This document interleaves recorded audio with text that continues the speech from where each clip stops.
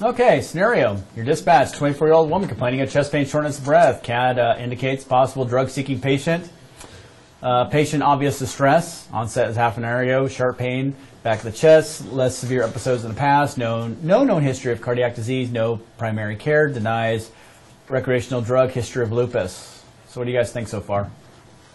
What do you want to know? What should you be looking for?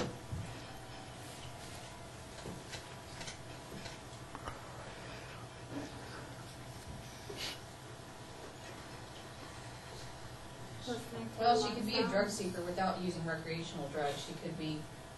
It says Hooked on. patients and obvious distress. Do you want to know lung sounds, I would listen Could to be, I mean, she has long a history of lupus. Lung so it could be- sounds, mental status, mental status? Okay. What else did you want to know? heart rate, or I mean, just vitals. Okay. What she was doing when the chest pain started. Okay. How you gonna? What makes you? What ways could you look to rule out that this is a drug-seeking episode versus an actual medical emergency? There's a, there's a there's a pop question for you. Hurt and negatives. I mean, Like what? like If she's constantly saying, "Hey, can I get some pain medicine? Hey, can I get some Well, pain medicine?" Well, if you're in a lot of pain, wouldn't you do that too? I mean, Ask you her the have, question does she have pain rule it out. radiating What what what questions are you gonna ask? Do you have pain radiating to your left shoulder? Do you feel nauseous, vomiting? you don't want to give her pain radiating to the left shoulder because that's going to be a leading question for her. So how are you gonna get around that? Where's the I mean, pain? does the Can you pain point where radiate? pain Does it is? go anywhere? Does it else? radiate? Is it Does centralized it somewhere? radiate more too? The Okay. better one. But, uh, Describe, you know, description of the pain. Okay. Causes sharp pain. Shift the back nerve. Okay. Is her being a drug seeker really an issue here? I think you should just go into that not thinking, Going down that road. I mean, I know it's it's hard to do, but I mean, don't think of it can't as, sit there and okay. be going, I can treat this patient because she what if you're wrong? I mean, if you get takes tunnel drugs vision, because if she yeah. dies because. What if it's just she's withdrawing? but if you go in Then there that tunnel could vision, that uh, she's I a would- she's a drug seeker. She's a drug. You know, you're gonna miss the I'll forest for the if trees, she's withdrawing basically. her medicine, Yeah, she's wi- maybe she's withdrawing from off her pain meds. Maybe that's why she's feeling that way. but I'm- So it's- I mean, we're, not, we're kind of, we're kind of delving into but an ethical. sometimes can't detoxing be um, dangerous though? Yeah. So we gonna give her pain meds?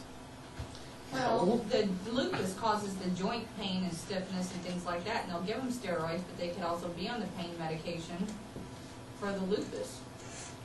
What else does lupus do? Since you guys, you guys looking it up. This, the butterfly rash across her Mhm. face, What about chest pain and pleuritic pain?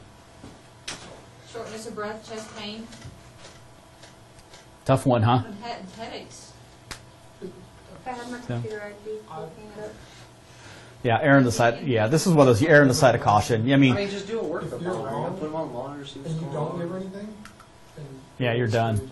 you're done. You can always justify, well, she was complaining of chest pain, blah, blah, blah. Well, and the- you can see, But I can't prove that she was, and Yeah, I mean, it, uh, to justify giving it. It really I mean, you can't prove they're a drug It's seeker. not I mean, business. Yeah, you really can't. You you, re- you really really can't unless there's something in there in that whole interview that I mean, there's several things that do not add up, and say, wait a minute, this story is completely inconsistent every time we ask. No, no, no, no, no, no, no. Now we can kind of figure it out. But I mean, if we sit there and say, hey, look, it looks like a duck, it's quacking like a duck, and we're going to call it lupus. This is why you're having. Then we're going to treat it as such. That, that it's they're tough. They're tough to deal with. I mean, you don't want to deny treatment, but like I said, just again, the assessment thing is like, well, how are you going to, you know, if you're dealing with that, that drug seeking issue, how are you going to deal with that? Well, you could give them the, the lowest narcotic level or lowest pain medicine you have. You don't Is that is that is that appropriate is that appropriate treatment? Is that appropriate treatment though? But then you're talking about like malfeasance and It's a fun game, isn't it? No. I don't like ethics. Yeah, it's it's it's a. Th- this is where, like I said, ask questions, ask questions, ask questions. Make sure everything fits, everything works together. You know, I can tell you this much. u- Usually, when it comes to drug seekers, I mean, one, they're going to be really one if they already have a condition.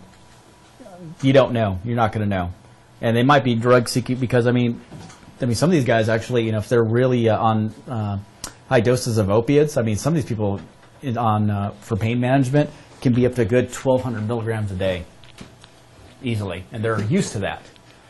So, but the thing is, like I said, if they got a, a condition, yeah, I mean, you, you can't get around that. But like I said, it's just kind of like looking at what doesn't make sense. If everything makes sense, treat it. If it doesn't make sense, then let's deal with that issue. Like I had one guy, he had like a history of back pain, calls us up, this, and the other. He wanted us to give him morphine and leave. We can't, you know, of course, we got this big old discussion. We can't do that. It's like, we already talked to one of your commanders, this, that, and the other, da da da da. No, we're not going to do that. If you want to go to the hospital, yes, but I can't do that and just leave you here. He wouldn't go to the hospital and let me treat him, you know, give him morphine, but he definitely wanted me to give him morphine and just leave. Now I've got something a little bit more substantial at that point.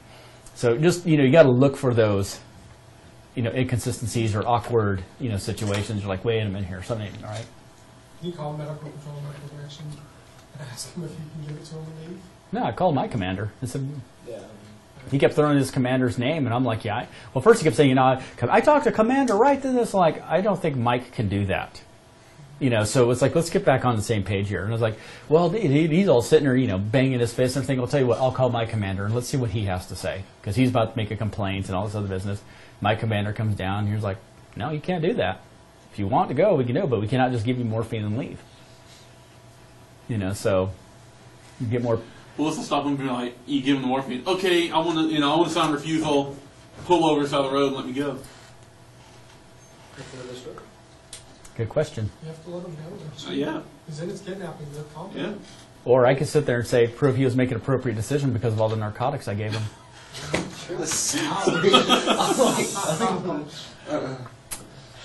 Prove it now.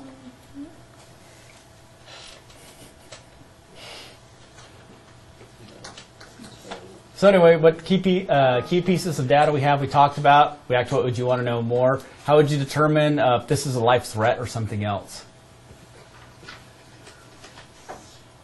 Well, your life threats are gonna be your shock symptoms, your Okay. blood pressure, your cool clammy skin, breath rate, Airways, breathing rate, patterns, Circulation.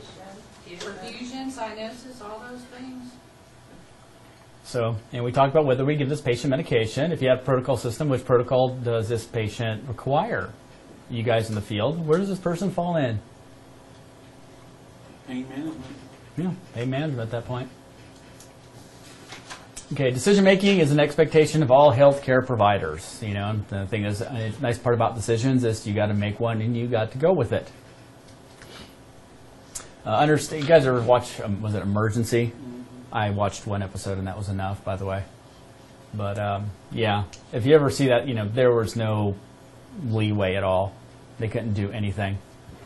But yeah, the, ideally, it was just very much a very technician-based program, and that's actually kind of one of the things that actually shot ourselves in the foot in trying to develop because nurses were always able to keep us at bay by saying they're just more concerned about their skills, more concerned about their skills. Let's just keep them where they are. Don't bring them in the hospital.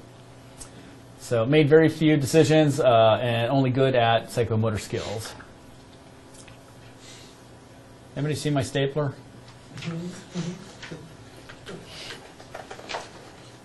Today's paramedics, again, obviously we have to be professionals, broadly written standards of care. You know, again, it's kind of like, okay, we're going to give you the guidelines, we're going to give you the ability to make decisions with it, and, you know, you don't need to call us all the time for it. So analyze information, make diagnoses, form a treatment plans without uh, direct physician contact. So make critical decisions, obviously, and need, obviously we have the need for critical thinking and decision-making skills. So our expected role, obviously, we need to assess situation. We need to sit there and analyze all the information, form an initial diagnosis, develop appropriate treatment plans, and then we have to implement them. So the problem is, is that we are obviously under pressure at that point, and typically without online medical control. You'll see in a lot of interviews and a lot of testing, you know, a lot of I've seen people say, "Well, I'm going to call medical control." You know, well, you're out of range. I'm going to call the helicopter. It's a sunny day. They're on a PR. A lot of this that we're geared for is yes, medical control is there. Yes, it's good to have, but you need to be independent. If you're too dependent on them, you're not doing your job. You have to have so much independence built in and functional, functional independence. And then it's like, okay, wait a minute. I've already gone through my whole list of things, things like this. I'm coming to the end. Now let's call them. That's, that's the big difference, but understand you're an independent provider. Uh, influencing factors, pre-hospital versus hospital, environment and setting. Obviously, one's nice, warm, climate controlled, the other one isn't. One's relatively safe, the other one isn't. Diagnostic data, we don't have much compared to a hospital. We can't do MRIs, we can't do, uh, can't draw labs. Well, we can draw labs, but we're not going to get anything. You know, we can't do X-rays yet, supposedly. So, patient acuity. What do you think is the difference between hospital and pre-hospital in that one?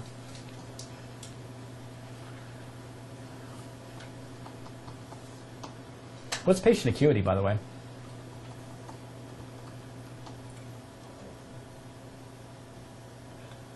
Patient acuity is how sick they are. The higher acuity, the more sick they are. Low acuity patient. They have the history. Hmm? That, like, in a hospital, they have a history of the patient. We don't, we have to ask all those kind of questions and kind of figure out what's going on with the patient. Well, the, um, just think of the sick patients. Okay. They stabilize by the time you get to hospital. Well, yeah, think about dealing with a sick patient in a hospital versus th- dealing with a really sick patient in the field. You've got, I mean, compared to a hospital, you have numerous, numerous resources. You have beds, you have a lot of doctors on call. You can get, you know, if they have any problems, they can call other doctors to come help them out. They got nurses, respiratory therapists, yada, yada, yada. Yeah, specialists. What do we have? About five, six people? You know? First responders. Yeah. You know, I mean, they've got so many, you know, tools and references, and we don't. So when it comes to dealing with, you know, high acuity patients, we're very limited and not a whole lot to, uh, on our side. Uh, scope of practice. Doctors and surgeons at hospital, they don't have very, very broad there. Yeah, they've got their they've got their own deal going on. You know, and obviously the thing is, even with the nurses, I mean, at least you know they're under direct supervision of a physician. You know, again, like I said, all those people and all those resources are there. You know, what do we? You know, like I said, you we're pretty much going to say, you know, here's your protocol. Go make you know make a make the best. Uh, go make good decisions and have at it. So interpersonal relationships. What are the interpersonal relationships at a hospital? Well, like nurses working with doctors, and Yep. they're all, well, not all buddy buddy, but they work Well, together just on a more regular basis. Nurses working with doctors. What else? What other relationships in a hospital? Husband, wife, son, Like re- respiratory therapists, they're dealing with those people on a regular basis, right? Who else is in the hospital? Social, same social workers. Same. Housekeeping, I mean, housekeepers. Yeah, they'll, you know, relatively the same, you know, they're dealing with the, those people. Look at all the different interpersonal relationships that we have out there. Firefighters, cops, you know, um, you start going to the homeless shelters, you're going to have all, you know, people that work there. You know, any kind of, I mean, really, ours is just everything, um, almost everything outside health healthcare related. They, they've got all those healthcare related relationships with each other, can all work together. Ours are more operational kind of issues. So our you know relationships are going to are are going to be vast. And oh, actually, I take that back. I mean, we do have a relationship with the docs and nurses in the ERs.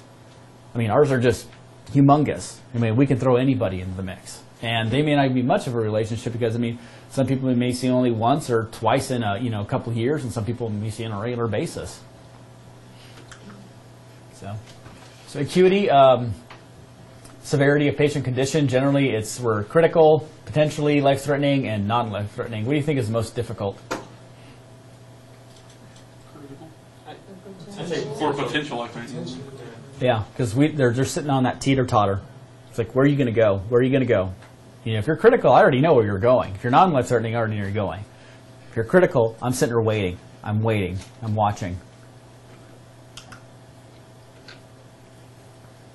Uh, pre-compiled responses, obviously, protocols.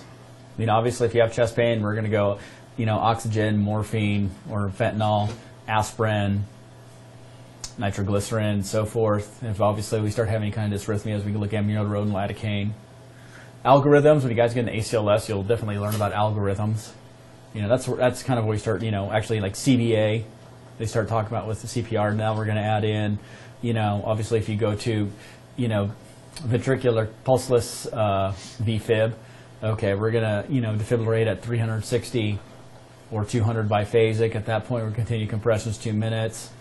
Check for pulse. If not, okay, bring in defibrillate again. If not, we're going to go give a 300 milligrams of amiodarone. It just becomes a decision tree at that point. If that changes, bumps. next algorithm, you switch to different rhythm, we're going to go to that, that algorithm.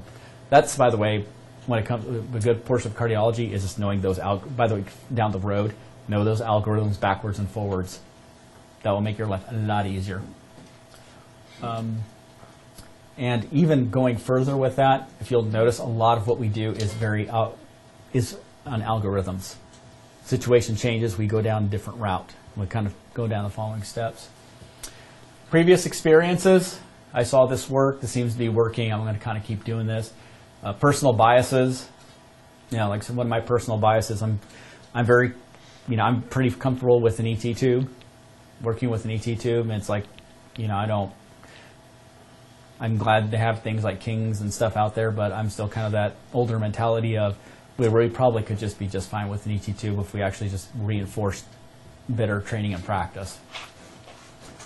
So I've got a, I've got a couple. Actually, I've got a few of those, and I know they I know they're just again biases. Critical thinking and reasoning that is different between good and great. Okay, it's you. It's this is you're going to realize this is more of a thinking game than it is a hands-on game. The hands-on part is actually pretty. It's only about twenty percent of what you're going to be doing. You know, and that's even adding all the skills with it. It's the actual thinking. What's coming up next? What am I dealing with? What directions could this go? How am I going to prepare for these directions? So anyway, our decision making and critical thinking is knowing the fundamental of anatomy, physiology, and pathophysiology. If we know how it works, that's great. Pathophysiology, if we break it somewhere, we're going to see some kind of cascade effect, right? Nothing, everything's always kind of working. You notice that the body always seems to kind of be always working in a very, you know, circular motion. One's always affecting another, affecting another. If we put a monkey wrench somewhere, we start seeing a big ripple effect and change and so forth. And so, what does pharmacology do? Intervenes at those points of pathophysiology, and then we start hopefully go back to a normal stasis. So yeah, knowing pathophysiology, knowing pharmacology is a really, really, really good thing. And it's not just knowing like the just pathophysiology of what you're going to learn um, next section. It's just knowing disease pathophysiology. You know, like we are talking about, like you know, uh, emphysema. Knowing that p- disease pathophysiology. What am I up against? What drugs do I have that can now give me the desired effect that I want? If this is getting worse, how far do I get need to get ready to go? With me on that? So organizing information or focusing on large amounts of data. Yeah, we're gonna we're gonna spit out a whole bunch of things at you. Here's this, this, this, this, this. Go, see you, bye. You know, especially with the multi-systems trauma. Here, you're. I mean, it's. I mean, literally, 35-year-old male MVC. You know, um, motorcycle accident, no helmet, was alert and oriented, went to a seizure. We got him on a backboard. We didn't be able to check anything else. Here you go. Bye. Okay. Take that and run.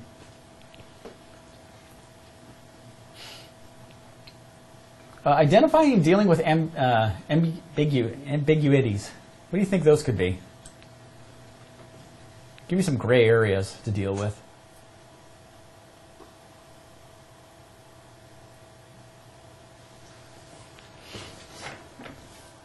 When or when not to backboard a patient? Or when Yeah. you should or when you shouldn't?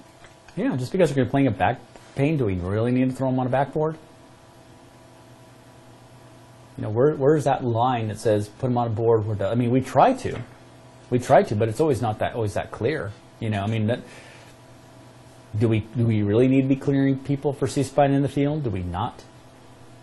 And at what point do we sit there and say, okay, the C-spine is tendered, put them on a board, or do we say those muscles that are just um, adjacent to the C-spine are tendered, then we put them on a board, or do we say no at that point? Or do we say, wait a minute, this was low mechanism, and you've got some paraspinal pain, do I need to put you on a board? How do I know it's not a C-spine injury? Those are always fun, fun ones to play with. Determining relevance. You know, I've got chest pain, uh, shortness of breath, It's a 10 out of 10, but I've noticed my, I'm having some numbness tingling in my right foot. Not too concerned. They can, we can scratch that out, put that somewhere else. Okay. Analyzing and comparing uh, similar situations. This can act, this obviously falls back to experience. And because, like I said, I mean, uh, you'll notice between different paramedics, experience is going to dictate how they act. And I mean, I can think of, you know, when I first started as a paramedic, I mean, you got hit by a car, I'm throwing you on a board. And then I remember once guy actually got hit by a very, like, less than 10 miles per hour, you know, um, on the street. Partner comes in, assesses him. Okay, you're fine. You get up. And I was like, what? You know, why are you doing that? And he was just like, you know, I've, I've worked so many football games. These guys get hit a lot harder than that. And as much as I've assessed, you know, I look for this, this, this. You know, I'm okay with this. Explaining decisions and constructing logical arguments. Get ready for that, especially when we start doing scenarios. Because one thing we like to do at the end of scenarios, we want to sit there and say, okay, well, tell me what happened.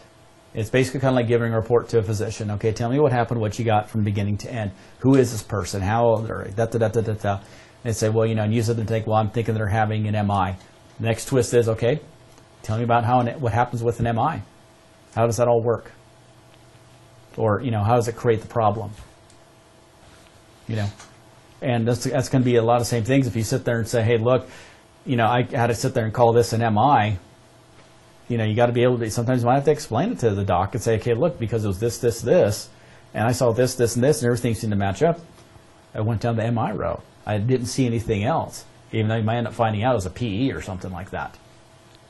So, make sense? Okay. The differentials, what is this about? So, facilitating behavior, stay calm, plan for the worst. Always plan for the worst. Always plan for the worst. Work systematically, work very systematically. Okay, and remain adaptable. Like I said, the systematic part, you want that to be just something that's second nature to you. You don't have to worry about having to adjust it or anything.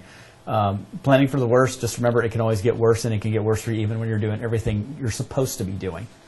That's just life. That's people. And remain adaptable, adaptable because things can change. I mean, like I said, if you have two uh, two uh, comorbidities functioning at the same time, you may be taking care of one, then the other one decides, you know, cause problems with you too, and now you're dealing with two different issues. So, what's the difference between reflective versus impulsive thinking? It would be reflective. Maybe like you look at this situation, think about it for a bit. You know, Okay. Think about what you do that's going to, what the outcome of your actions are going to be. Okay. What's impulsive? You decide you're going to do something, you just do it. You just go. What are the advantages and disadvantages of those two?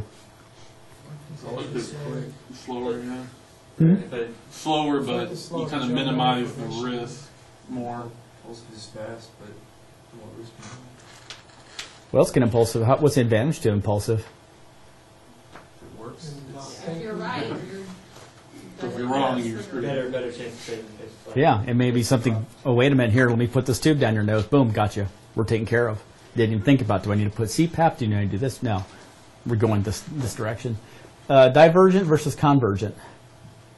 What's the difference between the two words? I'm going towards it, I'm going against it. Yeah, when we branch out, when we a lot of our assessments are actually more convergent, and when it's when we don't know, we actually flip to a more divergent way of assessing questions. It's like, okay, wait a minute, I got to start at this headache thing. Now I got to figure out where this is going to go. But a lot of times it's like you know, chest pain thing. It's like, okay, we're having this pain here. Okay, now I can converge on that point because I'm going to ask all these questions that's going to isolate to this. What's the advantages and disadvantages of that, of both? Divergent can get you way off where you actually need to be. And And converging, you could be more like tunnel vision on one. So let's see advantages. of divergent and advantages of divergent. You can cover a wider array of possibilities quicker, or not quicker, but Okay. you can cover a wider array of. What about convergent? Quickly narrow down what you're trying to oh. Anticipatory versus reactive. Just for it's more. More preparation for what you're going gonna happen. to, yeah, for a reaction to a You treatment have an idea something. what's going on. Okay. So react, reactive is just, It happens and you have Happens to to go go quick and yeah.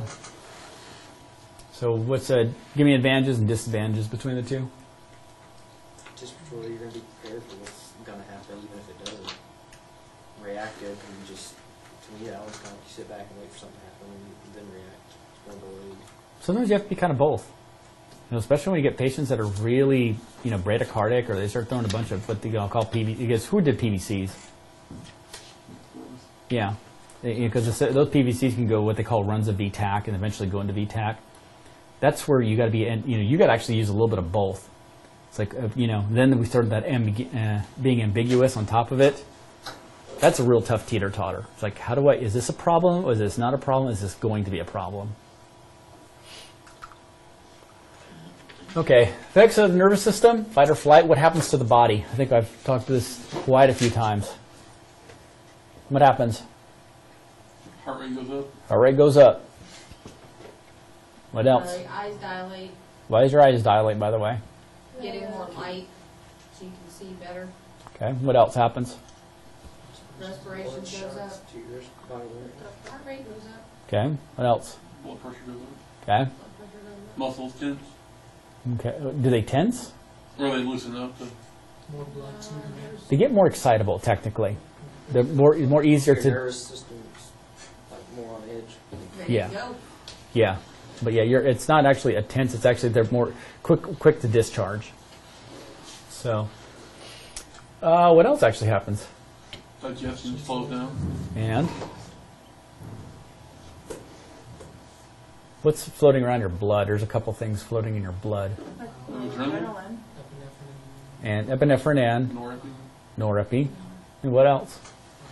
This is one that gets us in the long run. Adrenaline, Cortisol. stress thing. Yeah, it suppresses your immune system. That's that's one of the that's one of the bad sides of the, of doing this line of work is that it's the stress, the cortisol builds up in your blood, and that's like I said, it's a steroid. So if you have all this adrenaline, it's epi, norepi, uh, maybe throw in a little dopamine. We can throw in a little bit of that too. How, do you think this affects your ability to make uh, criti- uh, critical decisions? Impaired. it. Hmm? Impair it. Why? Hard time. Why? Well, you can't think straight. You're so, You're ready. To, you're going. You're thinking one direction or the other, right? You're again. We're we're going off instinct at that point. That that's the downside. So, so thinking under pressure, uh, scan the situation. It's kind of the thing of scanning the situation is you're almost trying to slightly remove yourself because if you're focused on this is bad, this is going to bad. Okay, if I and I I do this a lot. I would do this a lot. I'd start looking around because then my attention starts focusing on something. It's like that isn't bad. That isn't bad. Okay, now I can come back to this. But again, that's something we got to kind of have to develop because it's easy to get sucked in and get, you know, nervous. I mean, how about a test? Test is a perfect one. You know, you got you got you get a good catecholamine dump out of that. That's why I was telling you guys start looking around. Get something around that won't cause that reaction that says, okay, that's a clock. A clock is okay. You know, yeah, clock is clock is okay. Yeah. Well, then I know the clock stopped, and that's okay. The clock's not threatened. I don't have to worry about the clock. The clock is there. There's a light switch. There's a cup. You see, I'm taking a lot of the stuff that was causing that reaction. Now I'm focusing my attention there. Now I can come back to here. Now I'm kind of calmed down. So, and the same thing with that. Like I said, if you're too jacked up, I mean, you're going to focus on maybe on things you don't need to, and that's why you're going to like, wait a minute, let's look at other things. Stop thing, consider all options. Again, the, the key thing is stop. Big thing here. A deep breath can really do a wonder for you, and at the most, it's three seconds. You know, and even if you do not want to look at anything and you just want to focus on breathing and just kind of withdraw, understand that is only three seconds. And nobody's going to really know the difference. And that can actually bring you back down. Uh, consider all consequences. Again, like I said, this is where we kind of start. Like I said, we learn uh, we're going to teach you a bunch of stuff. We're going to talk to you about, you know, how this works, how that works, and if you do this wrong, this is the consequence. You do that wrong, is the consequence. Or this drug gives you this side effect. This drug could give you that side effect. How are you going to weigh everything in between here? Then the fun part is, you know, decide, act. You know, sometimes it's not finding the perfect plan or this is be ideal. It's like, you know, this is the you know lesser of all evils. You know, this is the best I can do in this situation, and it could very well get worse. So maintain control. Remember, you're supposed to be in charge. You set the tone. If you start flipping out, everybody else is going to think, "Oh my God, this is really bad." Especially people that don't have a lot of experience. They think you're, you know, they're already getting ready to. They could be already be ready to flipping out on their own. If they see you flipping out, they're going to flip out. And the thing is, it's in, with more experienced people.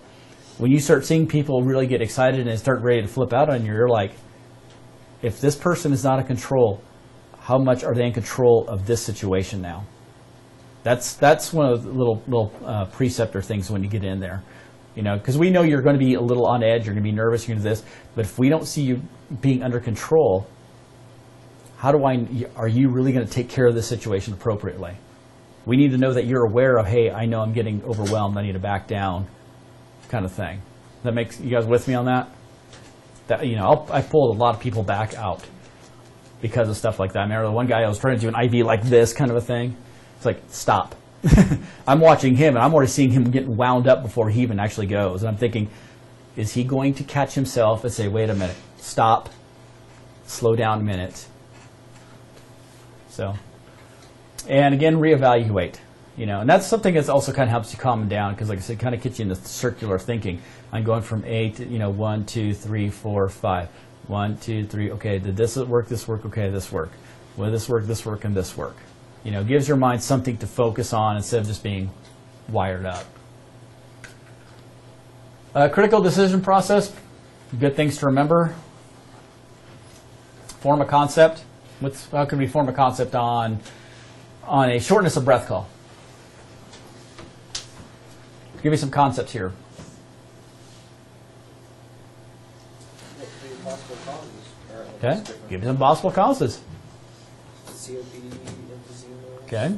asthma, Okay. Foreign body, Warm body. What else? smoking. I mean, Yeah, smoke inhalation. So, so it could be a lot of things. So, what do we need to do to? So, what do we need to do at that point? Start narrowing down. Give me information. What you know. So let's start asking questions. Hurt when you breathe? Does it hurt when you breathe in, breathe out? Are you coughing up anything? How long has this been going on? Does this wake you up out of sleep? What do you sound like? Yeah. What do you sound like? So- can you sleep sitting up or supine? Yeah. So interpret the data. Now that we got everything, you know, we've asked all those questions. Okay, it's like, well, what is this? Does it fit somewhere? Does it not fit somewhere? Does it fit a couple places? Uh, apply known principles. You know, it's like, okay, well, obviously it sounds like it's a constriction. You know, obviously we need to open you up, so we'll give you some albuterol because that'll dilate your, your bronchioles. That should allow more air in, and that should help the situation, right? Evaluated it. We give them the albuterol. Did this work? Okay. Let's go back and check, make sure it's still working. You know, nothing was, you know, we didn't have anything rebound or reflexive on us. And like I said, we just keep going and just check and check and check. Have you noticed, have you guys ever actually been a patient in the ER at all? Yeah, a lot. How many times they come and check on you? Give you something. How many times they come back and check on you? You know, like three or like at least three times. You doing okay? Everything working? Okay, okay. You're doing good. Let's get you out of here. But like I said, I want to make sure that this treatment worked and it's stabilizing. It's holding its ground. Uh, the six R's, kind of nice little thing to help kind of help you remember. Read the scene. Obviously, coming in again when you're walking in, what what's going on around me? What kind of situation am I in? Read the patient. You know, obviously, like actually, I think I was just thinking about the uh, the bringing out the dead, where the guy's sitting on the the gate on the fence there. Read the scene. What do you do? You walk in, you see blood coming out, lady. It's like, what does that tell you right there? There's blood on the ground and lady there. What does that tell you guys? Something bad, Something re- something bad really just happened. Okay, we see fish flopping on the floor. What does that scene tell you? Gunshot, violence, assault. Violence, something. Yeah, some. If we started throwing things up around, we see a guy that's you know two floors down, sprawled over. So what does that tell you about the patient? He Fell thought from it a was height. the East Long Beach. Huh? He's not going to make the dive team, right? yeah. He was trying to run out of stuff. like- Yeah. He was in a building running from somebody. Or he got pushed or Yeah, thrown yeah. over. He's not. He, he was not something ex- extraneous that got him to that point, and that's not good. So, whatever it was, obviously took a good amount of energy slash force to create this situation. So, what else could be wrong with him? So, you know, react appropriately. Don't obviously jump down two floors to get to him, right? Careful, you're going to see those people. They'll do that. Actually, kind of actually, I'll tell you a little side story about reading the scene and patient and all this business. So it's uh, my first year at Austin, and I was working with this guy. He was one of the special operations guys, and those guys kind of sometimes have an, uh, a reputation of being a little too cavalier.